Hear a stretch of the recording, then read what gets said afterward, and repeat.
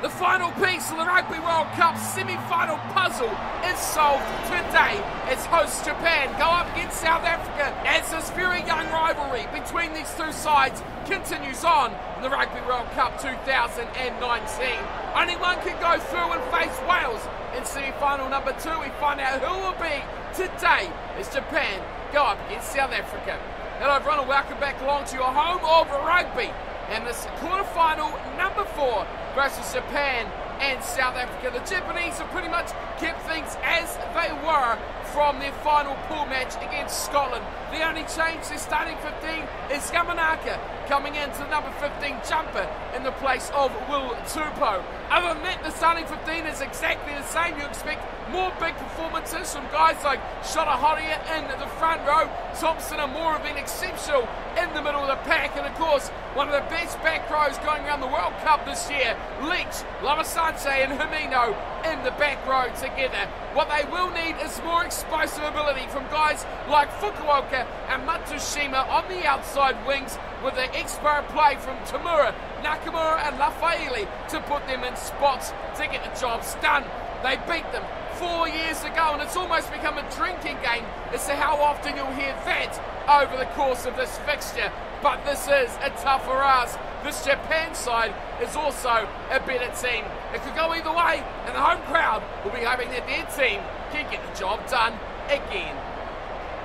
Of course, the Springboks gained revenge on that fateful loss four years ago in Brighton, beating the Japanese in a Rugby World Cup build-up game a matter of weeks ago. That, though, is a completely different atmosphere to what we're going to see here today. This is Rugby World Cup quarter-final rugby, and there is only one result the Springboks once again here. More rotation goes around the front row and Tarawera will start on the loose inside with Mbonambi, a hooker and Mahoba on the tight end. Into the second row, more changes. Even it's the beat will start once again, but he's got a new partner, Lutiaga, on his shoulder. Kolisi, Toy and Bermuda remain in the back row. It's the outside backs are going to be in a lot of work, but Pippi and Kolbe have work to do to make sure Japan don't get that width on the ball and don't get the chances to score in the corners. The back line is all about defence. The forwards oh, are where this game is going to be won as per usual. The old cliches are always the way the game goes. The Springboks will back themselves here to get the incentive in the pack and to push this Japanese side around. Will they be able to do it though? Can Japan lift for this big quarter final, their first ever quarter final in the Rugby World Cup? We find out as kickoff is about to get underway. 80 minutes of action is coming your way. Stick around, don't go anywhere. Kickoff is about to get underway. So we are all set to go. It's Japan, of course, in the cherry red and white up against the Springboks in the green and white. We are good for kickoff. South Africa receiving and underway it goes. Tamura kicks it off short and captain Cyclisi drags it in for the Springboks and they'll set the ball up 10 metre line. First break down the game. Faf de Klerk has a little bit of a run, shows it kicks ahead. And it bounces over the 22 into touch. Nothing Yamanaka can do about that one. Good kick, Faf de Klerk. Showing the versatility, eyeing a little gap, and as it closes, just deposits it through. Japan on the back foot very early here as a line out throw to he goes to the back and it's nicely pulled in by Moore. Tamura out wide they go. Nakamura dummies inside and loses the ball and picked up nicely. de Allende with a turnover inside the 22 now. Big chance South Africa. And runs and looks out wide. Andre Pollard puts it over the line and a great start for the Springboks. Not the start that Japan were looking for, but that is a beautiful try of an early error from Nakamura, picked up from his opposite de Allende. And Antarawera picks it up, draws defenders, flat ball out to Andre Pollard. And he slips in the tackle of Matsushima over the line and puts it down to the left of the uprights. Tendai Mtawarira, the big man, the beast as they call him, drawing a lot of attention on that little run he made off the back of the ruck. And that created plenty of room for this guy, Handré Pollard, who grabs the first try of this fourth quarter final, and he'll convert his own as well. 7 0, the Springboks lead. And that's the start they would have wanted. Take this crowd out of it, put themselves in control, and continue to dominate from there. Seven minutes in, seven points on the board.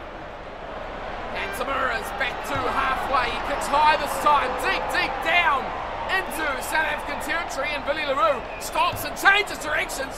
A little change and mix up there from Roux. He's kicked down to Matsushima, who's gone away to Tamura.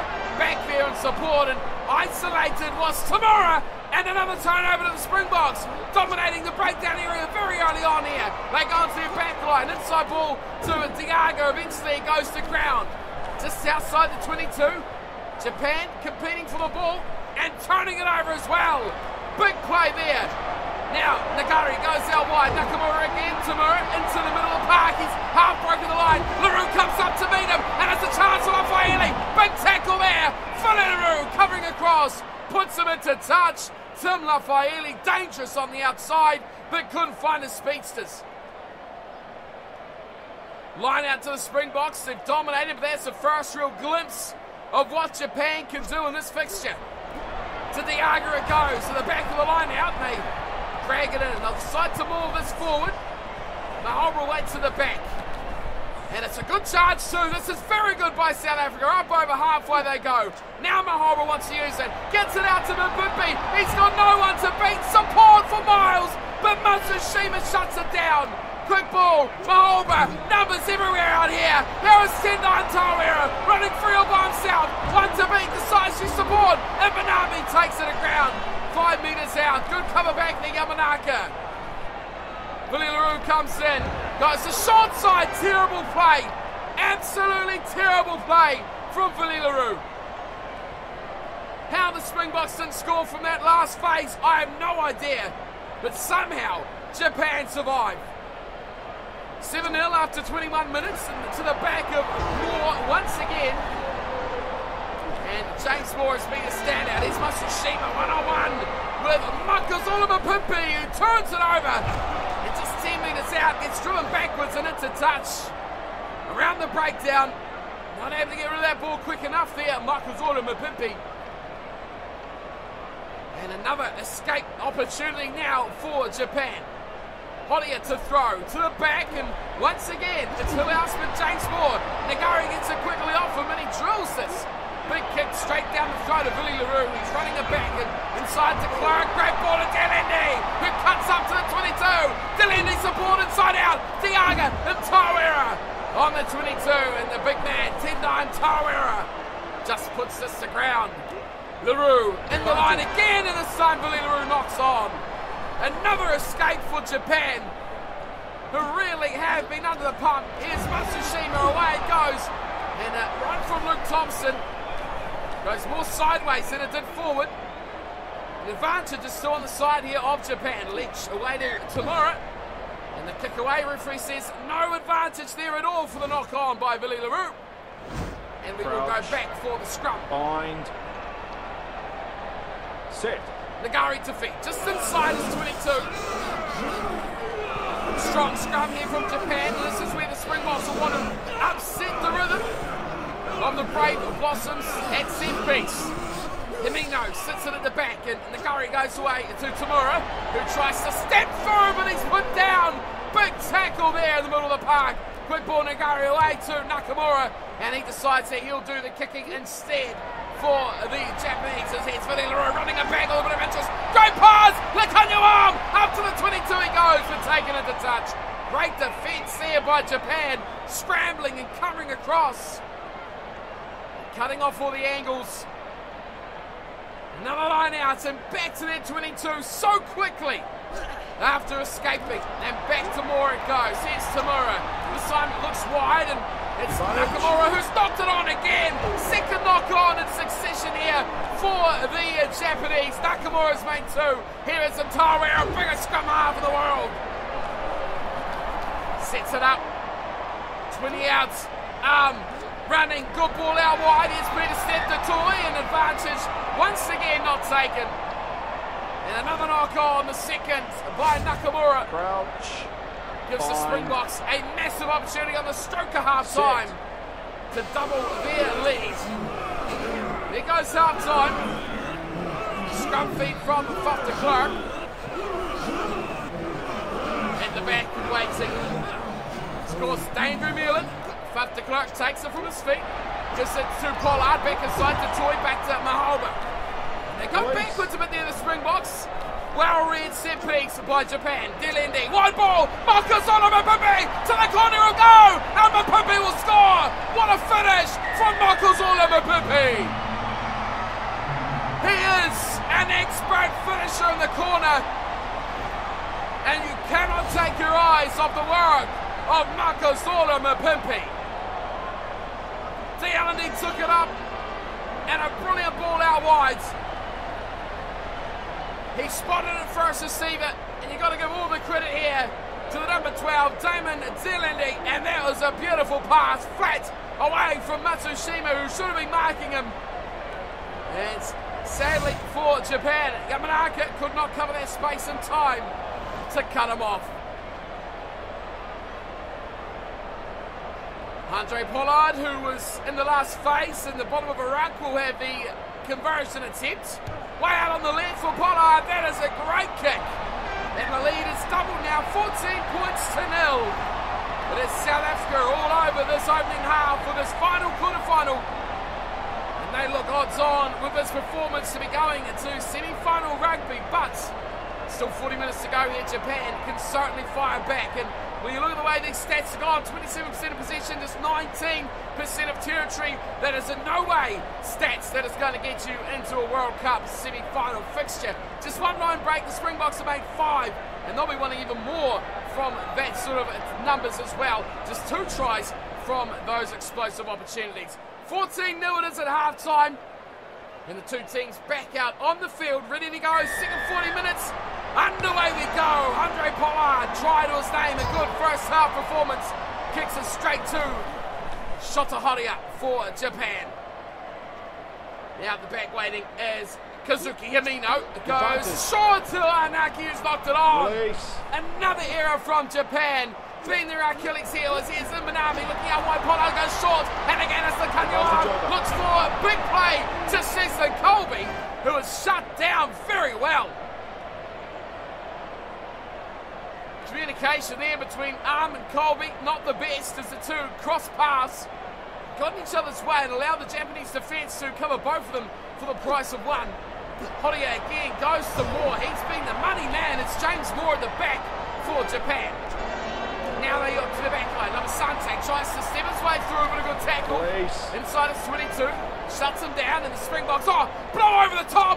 Numbers not there for Japan. Out wide they go again. Mapimpi beats one. Gives to Am. Lukhanyo Am sets it inside the 22. Left hand side of the field. Big chance for the third try. de Allende goes to Mbonambi and there's Pieter-Steph du Toit short to his captain. Kolisi does well. Getting offload back to de Allende again. Now they move towards centre field. de Jager to his right. Kolisi, big numbers out here. Mahoba goes quickly. Turns to Kolbe.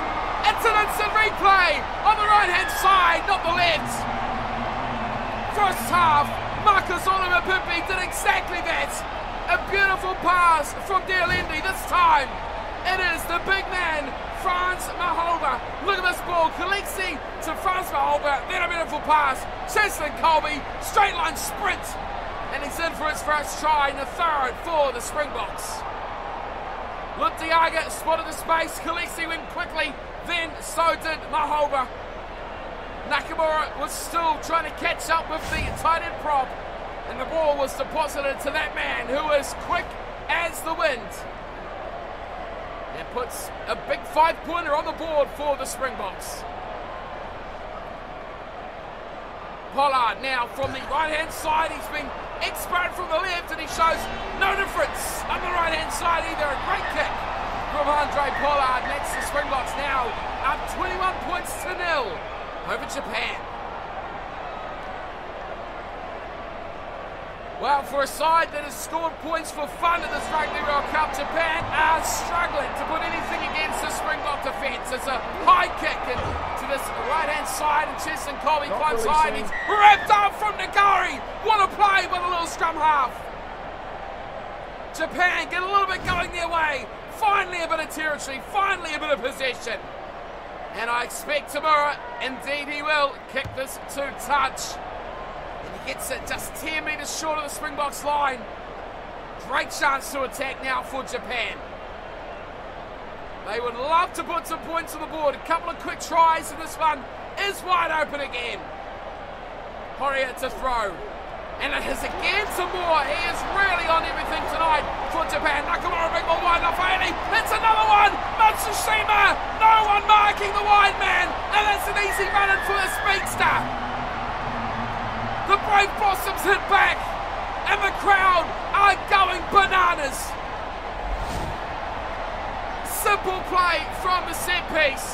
Tamura, Nakamura, Lafaele, Matsushima, try time Japan through the backs, and no one out on the wings for the Springboks.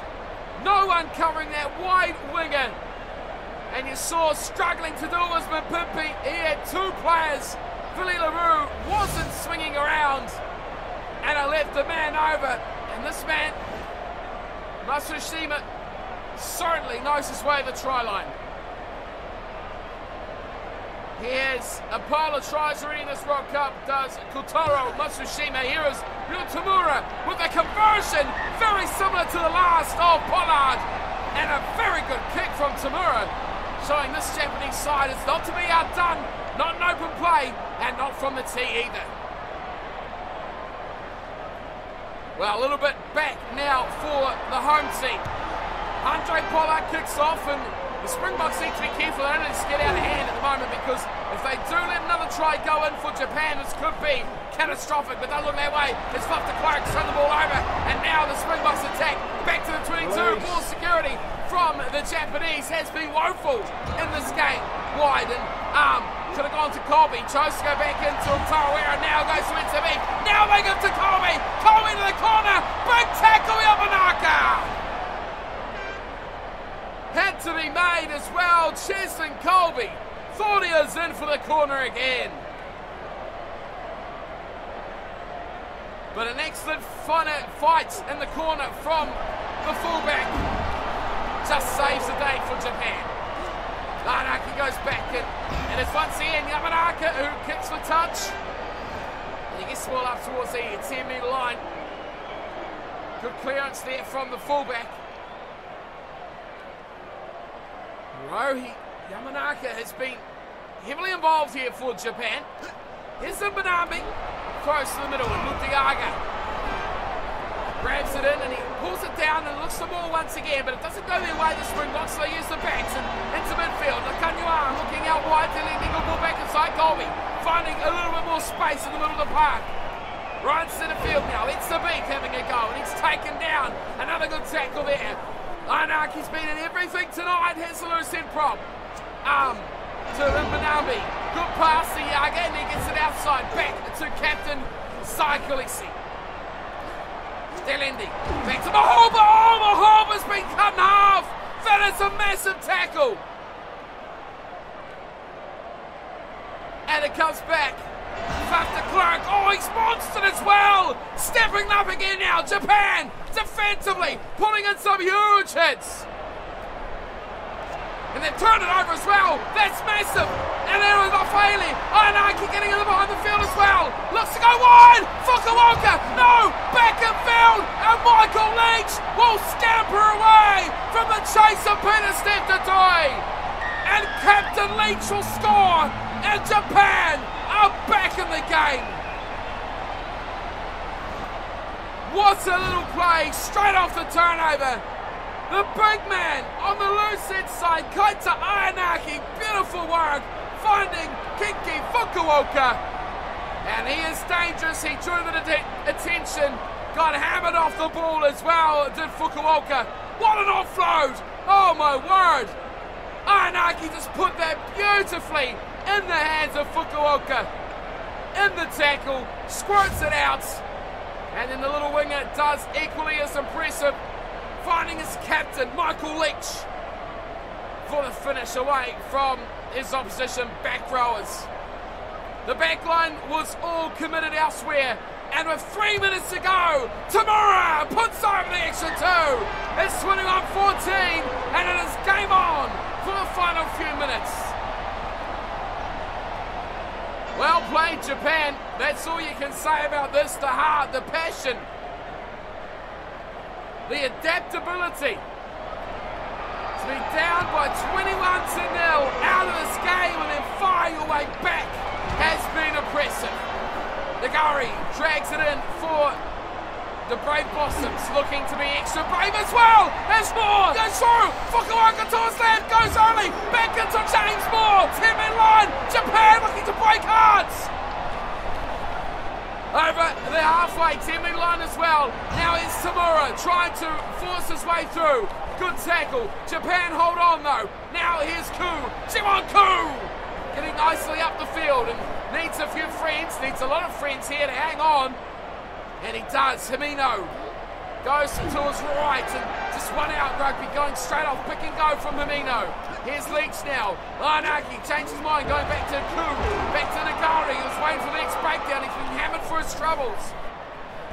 And Japan is struggling to keep hold of this ball, but they do enough again. Moore. James Moore to his left. Oh, beautiful ball to Tamura. Does Inagaki again. Fence off Kolisi. Almost gets away. Nagare. Oh, high tackle on Nagare from Atendai and Tawera. And he's going to spend the rest of the game in the bin. Yellow card. Hand was in the pocket. And Tendai and Tawera is out of here. Time is up. Attack. Tamura. He does that. Goes to his big prop. He's been brilliant. Lafaele steps,